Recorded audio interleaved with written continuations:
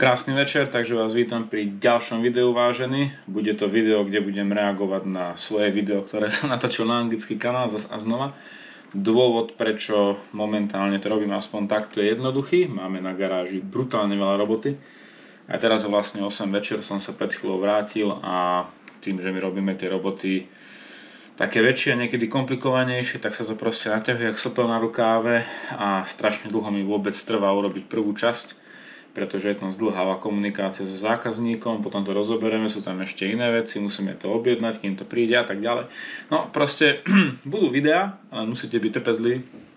Každopádne sa nachádzam doma v mojom ofise, e, pri mojom počítači, kde e, ten fúkár, jak ste vraveli, tuším dva alebo traja chalani v komentoch mi vychytali takú vec, že mi fúka ten fúkár z procesoru opačne. Naschal som to mal rozobraté, teda som otvoril skriňu a ten fúkár z nejakého dôvodu fúka smerom hore a tento fúka smerom von. Takže neviem, kto ten počítač skladal, ja už som ho taký kúpil, potreboval som doma mať nejakú bedňu, takže sa 300 líbia, ako keby keby fúkal, tak e, mi to je jedno, ale díky za postreh. Takže toto video bude čisto moje reakčné video a možno trošku komenty na to, ako sme robili tohto transportéra. E, je to 2,5 TDI 5 valec v manuáli. To auto malo, ak sa nemýlim, 100 40-150 tisíc mil, čiže cez 240 tisíc km, ak sa nemýlim. A budem tak trošku komentovať, čo je jak spravené. A my sme to auto vlastne kúpili od jedného pánka a v nepojaznom stave. Boli tam nejaké problémy, ktoré sme vyriešili a taktiež to bola pôvodne iba dodávka. Takže my sme spravili taký camper conversion. Robili sme to v veľmi nízko rozpočtovom nejakom náklade, a kde proste sa vyhádzal celý zadok toho vanu, urobila sa tam nejaká izolácia, nejaké bednenie, naťahli sa koberce všade a dali sme tam ten tzv. rock and roll bed, čiže tam bola rozkladacia postel aj s pásmi, kde vlastne sa dala vysunúť a bola z toho dvojitá postel, bola tam urobená elektrika, čiže sme dávali menič z 12 na 240 V taktiež tam bola chladnička a nejaké veci, takže akože bolo to celkom fajn, za tie peniaze to bolo fajn. My sme to auto potom vlastne predali nášmu známemu kamarádovi, chlap, čo robil pre firmu, kde sme kupovali diely. Sa volal Mat a my sme mu to predali v, ešte pred koronavírusom za 6500 liber, ak sa nemýlim. S tým, že bolo to predané v dobrom úmysle, že vlastne on vedel, v akom je to auto stave, hej, že je tam urobený ten conversion, ale proste motoru sme sa mi veľmi nechytali a tak ďalej. No a čo sa nestalo, po tuším pol roku, odkedy mal auto, on išiel na nejakú dlhšiu jazdu. My sme s tým chodili iba lokálne, nemali sme veľkú príležitosť tým ísť vola, kde proste na nejaké dlhé trasy, takže bolo to väčšinou iba na krátke trasy po okolí, keď sme niečo potrebovali previezať. A on nám vlastne zavolal, že má nízky tlak oleja, my sme mu odporúčili, že na tom nejazdí, čo si myslím, že bolo veľmi dobré odporúčanie, pretože si osobne myslím, že sme ten motor zachránili pred kompletnou deštrukciou. A celá robota vlastne bola urobená tak trošku kamarátsky, pretože mm, nechceli sme to zase vyriešiť tak, že sme mu dali to auto a vlastne mal tam takýto problém po dosť krátkom období. Takže a on bol s tým fajn, my sme s tým boli celkom fajn, robota bola urobená viac menej za materiál a nejak takto to išlo, takže tu je krátky príhovor. Fú, chalan má riadne dlhú bradu, hej. No, ne, vôbec neviem, ak som tak vedel žiť, popravde. Takže tam na tom videu na začiatku hovorím, že je tam vlastne nízky tlak oleja a našli sme tam nejaké proste kusy metálu alebo niečoho vo vani. Vlastne tá vaňa už je teraz rozobratá v tom, z toho auta. Takže múdre veci na začiatok. Ideme sa na to pozrieť. Mhm. No, je to tam veselé vo vani. Fú, riadne veľa železa. ako my sme si najprv mysleli, že ten motor nezachránime popravde, a je tam aj nejaký kus dipsticku a tej odmerky, takže my sme si najprv mysleli, že ten motor nezachránime, pretože keď sme to videli, tak to akože bolo dosť smutné.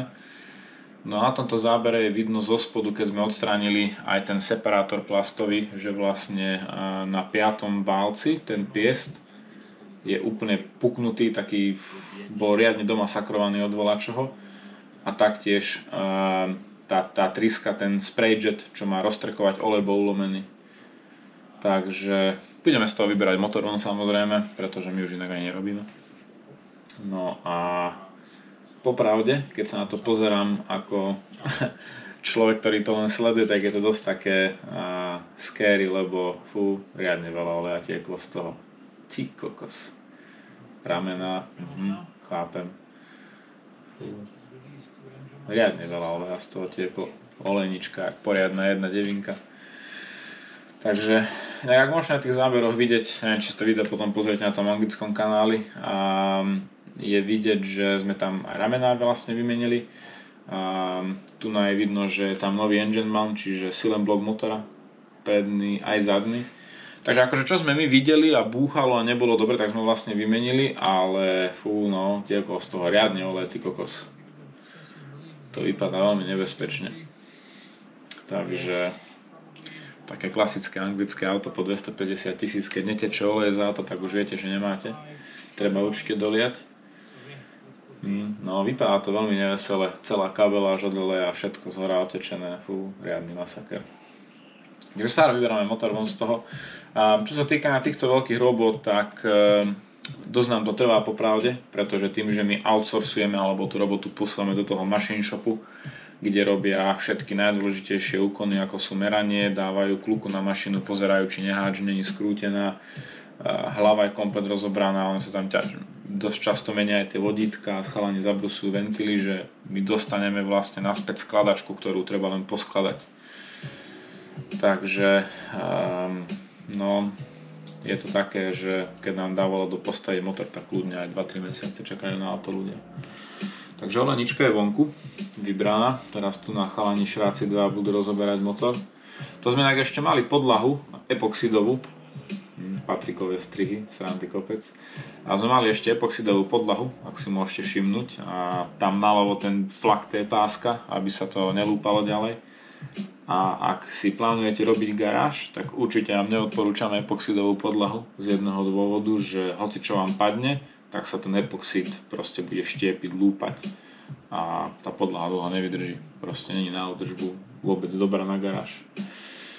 No tu nám môžeme vidieť, že je tam zase nejaký Silicon Master, silikon všade, preto vlastne ten motor otečený odolá, pretože váková pumpa bola zalepená. Inak chalani zo Slovenska mi písali, som sa smial jak blázen, lebo mi posiali tiež fotku z nejakej jedna devinky otečenej, kde tiež chlapci takto so silikónom vybavili pol auta a toto auto, ty kokos po otvorení kapoty bol všade olej.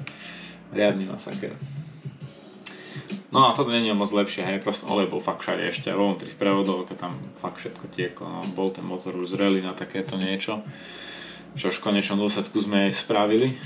No a tu nadávame dole dvojhmotu a za dvojhmotou je zase veľa oleja, takže hm. A pritom sa ten motor nezadrel. Divne však, Veľmi divné.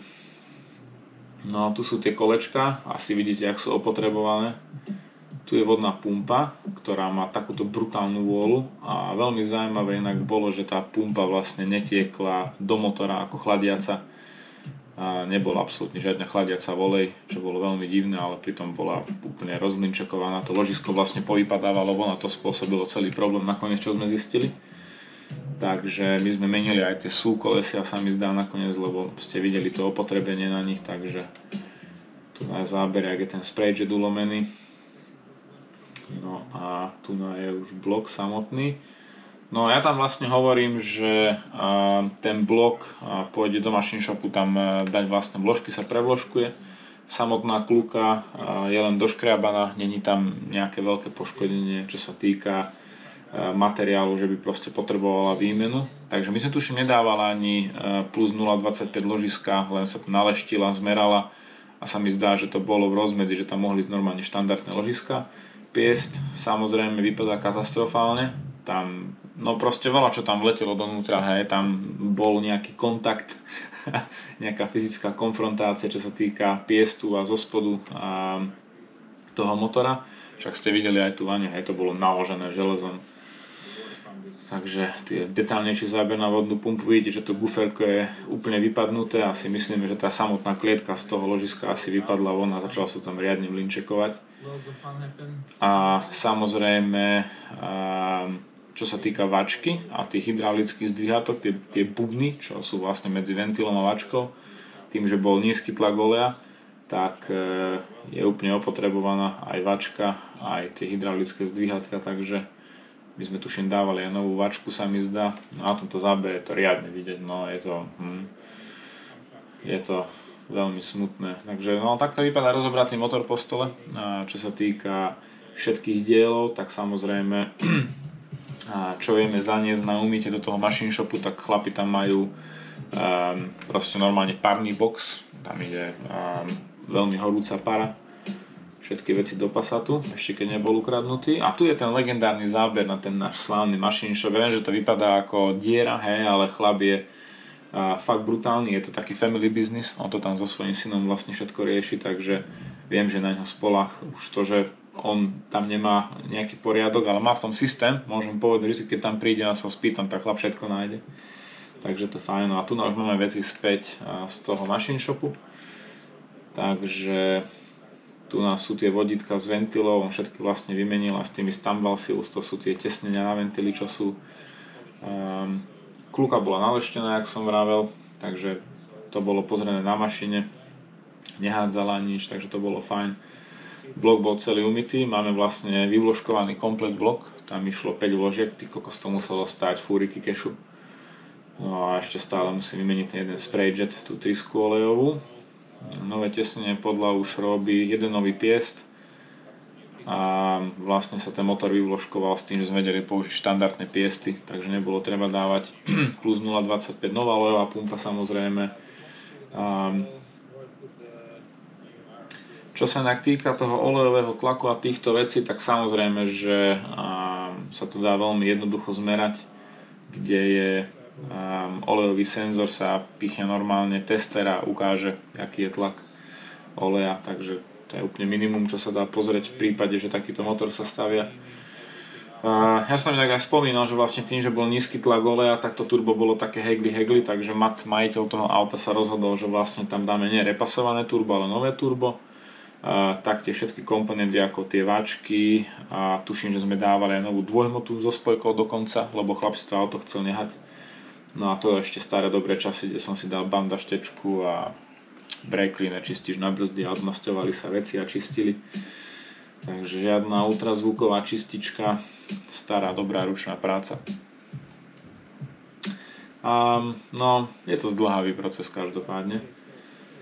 Um, tu navrávame múdrosti, že už je všetko vlastne spravené, piesty sú vyčistené. Najdôležitejšie na tom samozrejme je, že v tých piestoch by nemal byť karbon vo vnútri aby tie piesne krúžky mali vôľu a chodili tak, jak majú. V prípade, že je tam veľa karbonu, tak e, možno ten piest ani nebudete vedieť sunúť do bloku. No a tu na už máme nachystaný blok, stále som nevybral ten sprayjet, to je asi posledná vec, čo budem robiť pred montážou. Ale úplne prvá vec, čo tam vlastne musia ísť, sú tie samotné olejové trysky. A ak sa nemýlim, tak tie olejové trysky sú dokonca jednosmerné ventily. Um, som čítal inak koment pod nejakým videom teraz, že nechcem mudrovať dotyčný alebo niečo také, ale že by sa mal vlastne motor po výmene oleja pretočiť iba na štarter. Takže neviem, že ako niektorí ľudia menia olej, či tam dáte olej a odpájate cievky a streky, aby sa to párkrát aspoň potočilo a natlačilo olej, ale ten motor má vo vnútri nejaký olejový systém, kde sú jednosmerné ventily.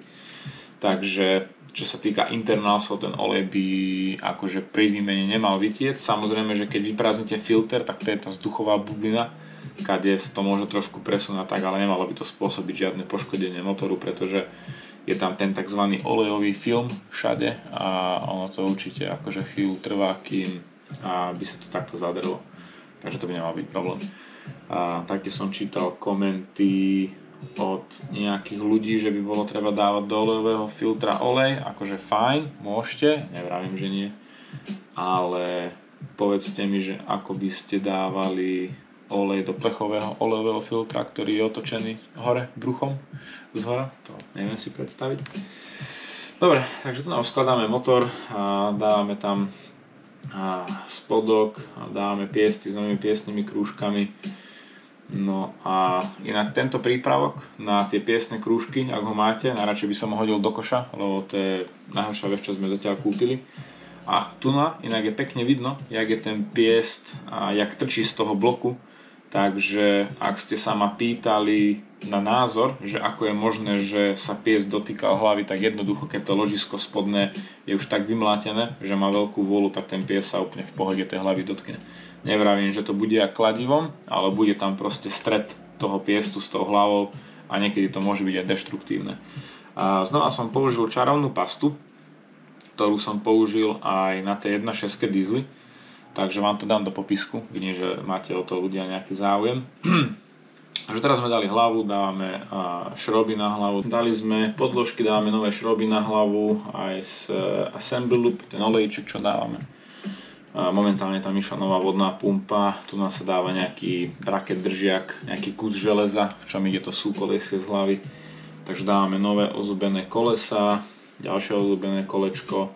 Všetky tieto kolesa vlastne boli vymenené kvôli tomu, že tieto motory majú takú tendenciu hrkotať, štrkotať a robiť nejaké divné zvuky v prípade, že sú opotrebené a vlastne tá fuga medzi tými kolečkami alebo tá medzera je taká veľká, že pri akcelerácii, decelerácii to proste bude vydávať nejaký metalový zvuk.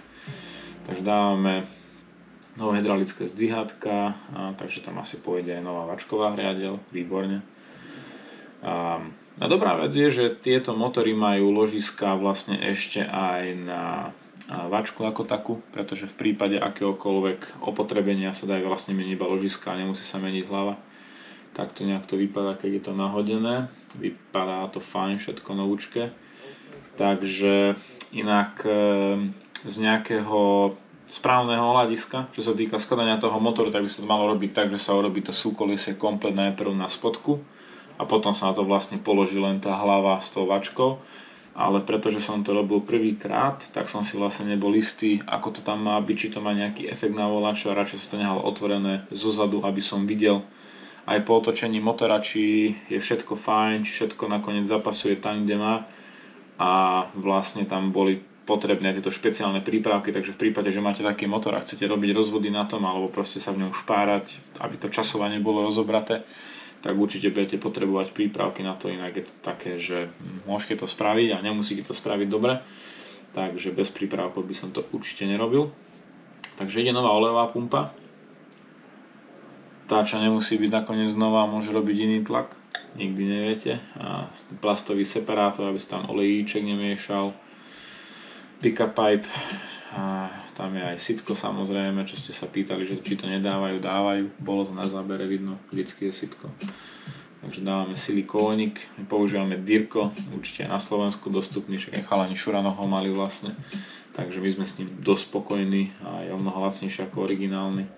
Takže tu je ten dôvod inak, že prečo by sa to malo robiť opačne, lebo vlastne tesnenie pod hlavou a presahuje až do toho krytu na tie súkolesia takže bolo to tam trošku problém dať, ale v konečnom dôsledku to tam sadlo na tie vodiace kolíky pekne.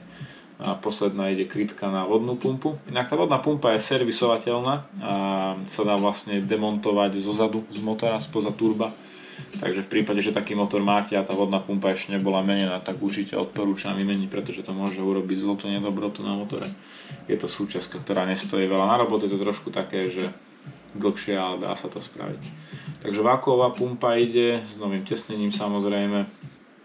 A dávame streky. Na streky idú vždycky nové medené podložky, taktiež nové gumičky, horné aj spodné kvôli tomu, že vlastne diesel je vedený v samotnej hlave. Takže v prípade, že by ste ich nevymenili, tak e, môžete normálne mať vysokotlaky diesel, ktorý by vám striekal do levého priestoru a dávame veko s tým, že to veko je inak úplne nové. Jeden dôvod, zase to bola vyjebavačka od Volkswagenu, že nedá sa kúpiť tesnenie na to veko. Takže my sme vlastne museli kúpiť zase celé veko, aby sme mali nové tesnenie, lebo to veko predtým s tým tesnením už malo tak veľa silikónu na sebe, že by to proste tieklo a to by nebolo dobre. Takže dávame sanie na miesto, a tam je tiež jedno plechové tesnenie za tým, vlastne to bolo vymenené za nové. A Dávame turbo na miesto s novým tesnením na výfuk samozrejme a teraz ide e, držiak olejového filtra s chladičom oleja, ako môžete vidieť ten chladič je znova nový. Dôvod prečo môžu v ňom byť pilinky a určite kvôli takému chladiču, čo stojí už len pár korún úvodzok a nechcete znova zadať alebo poškodiť motor akokoľvek. Nová dvojhmota, výborne, to si Mat vyžiadal, že už keď to robíme, tak nech už to robíme teda. A on si tie diely inak tuším zháňal väčšinou sám, pretože tým, že robí pre tú firmu, odkiaľ my bereme diely, tak on tam mal ešte asi nejakú zľavu. Takže on si vlastne tie diely objednal, my sme mu ich nahodili No a tu už dáme prevodovku, krásny záber na čistú podlahu so spraveným motorom. A vypadá ten motor dobre, keď je takto spravený. Všetko je čisté, oproti tej oleničke, čo to vyšlo, on to vypadá celkom fajne. Takže sme pripravení to dať na miesto. A, takže tu na už je motor vlastne pripravený, neviem či už je kabelože nahodené alebo nie. A ešte teraz sme dali auto do inak, neviem, že ste si všimli, dosť brutálna vec keď sme začali to auto robiť, tak ešte nebol spravený strop a už keď je teraz vlastne motor nachystaný do auta, tak už je spravený strop. To je dosť cool. A taktiež na rampe inak môžete vidieť BMW, to bolo úplne posledné BMW, ktoré u nás asi bolo, si myslím. A o motorík donútra už. A dôvod, prečo to bolo posledné BMW, urobil sa klasický problém s takým BMW, reťazky bez akéhokoľvek varovania urobili, že čau a ten motor bol tak rozminčekovaný, že vlastne zvane sme vybrali len proste guličky ako si železa a majiteľ povedal, že vlastne do toho nevydá toľko peňazí, takže sme zase strávili deň rozoberaním a nič z toho. Takže motor bol založený do auta, naplňame samozrejme nové náplne, chladiaca a my tuším, nedávame ani mix, takže to do minus 40 stupňov. A tu na už šepot kvetín 2,5 TDI, traktúrek ide. A ak si inak dobre pamätám, tak mne sa zdá, že my sme potom na tom začali jazdiť a ešte tam bol problém s jedným strekom alebo niečo také. Takže my sme tuším ešte menili v strek, ak sa, ak sa nemýlim, a to si nepamätám, to už by som táral. Ešte Paťko bol u nás na garáži chalanisko napudrovaný, umýval autičko. No a toto vlastne inak Paťo strihal. To chalan riadne vychytal, sme spravili, že akože GTA záver, že na, naťukal kódik, že dostal van. A teraz sme mali drona len nejak pár týždňov, alebo to sme s dronom akože dosť často lietali, tak tie zábery sú akože dosť cool, sa mi to dosť ľúbi. A, taktiež. Chalan, no no no, chalan tam dal aj no no no, tie zvuky z GTAčka, že vlastne z nejakého vanu alebo niečo takého zvuk motora a tak, jak to ide. A na konci, no no no, že uh, 100 miles done mission pass respect plus a inak napravo, ak si Vlado všimol, tak tam aj píplo, že plus 4500, takže to bol taký odkaz, že to vlastne celé stálo 4500 libier, kde 90% toho všetkého bol vlastne materiál. Čo sa týka toho auta, tak už to budú vlastne 2 roky, tuším, čo sme to robili. No a podľa mojich nejakých znalostí, informácií, to auto stále chodí. On bol tuším raz na výmene oleja u nás. On potom vlastne aj skončil v tej firme, kde a, tie diely nám predávali. My sme potom tú firmu vlastne ani nepoužívame, lebo sme sa zamerali na originálne diely viac menej. Takže odtedy a sme není s ním nejak v priamom kontakte. Takže tak, ale keď bol nejaký problém, si myslím, že by nás chlap kontaktoval, tak čo sa týka toho transportéru. Takže ja viem, ďalšie nudné video, aspoň som vám to nahovoril, nejak čo sa týka nejakých mojich myšlienok a možno za pár informácií navyše. Link na tú pastu vám dám do popisu, ako som vravel a pevne verím, že ďalšie video už bude priame z dielne, kde sa dejú veci. Nebude len takto spoza počítaču. A inak ďakujem, že nás sledujete. Sa mi ľúbi, že a tie komenty dole už začínajú fungovať trošku ako nejaké fórum, a kde si viete trošku aj poradiť a popísať medzi sebou. A jak sa vraví, nenadávajte si, hej, chovajte sa slušne, všetci máme nejaký ten názor a robíme veci inak, hej, sme úplne odlišní ľudia, všetci odlišné garáže, iné zvyky. Takže my natáčame veci, ak robíme vy a samozrejme rešpektujem, keď vy robíte veci inak. Takže určite sa veľmi radi dozvieme aj nejaké nové informácie. Takže kľudne tie komenty tam dole píšte a vidíme sa pri ďalšom videu, už dúfam, že v normálnom formáte. Takže čaute.